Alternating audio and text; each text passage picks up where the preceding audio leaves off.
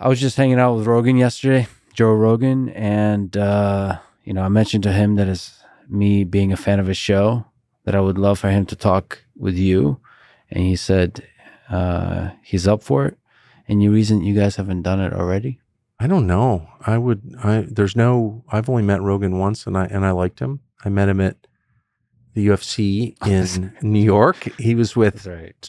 somebody at we a mutual friend of ours, and uh, I you know Rogan changed media. I mean, maybe more than anybody, and he did it. What I love about what I admire about Rogan, without knowing him beyond meeting him that one time. I mean, I'm still in media, but I've always been in media. You know, it's like not a great surprise.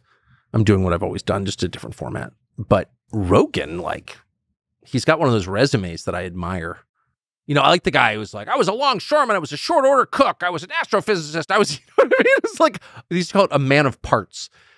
And this guy was a, a fighter, a stand-up comic. He hosted some, you know, Fear Factor. And like, how did he wind up at the vanguard of like the deepest conversations in the Yeah. country? Like, how did that happen? So I definitely respect that. And I think it's cool. And he Rogan is one of those people who just kind of came out of nowhere. Like no one helped him. Mhm.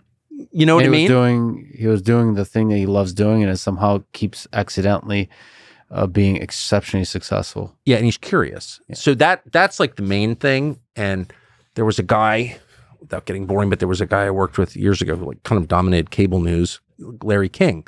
And everyone would always beat up on Larry King for being dumb. Well, I got to know Larry King well, and I was his fill-in host for a while. And Larry King was just intensely curious. He'd be like, "Why do you wear a black tie, Lex?" He'd be like, "Because I like black tie." Why do you like a black tie?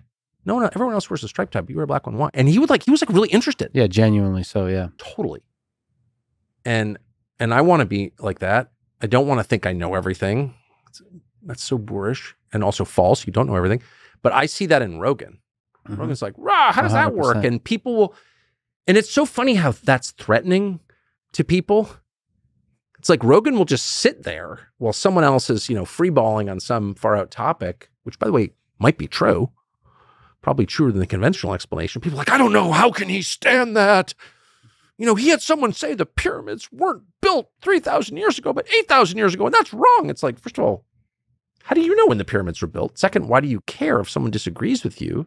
Like, what is that? This weird kind of like groupthink.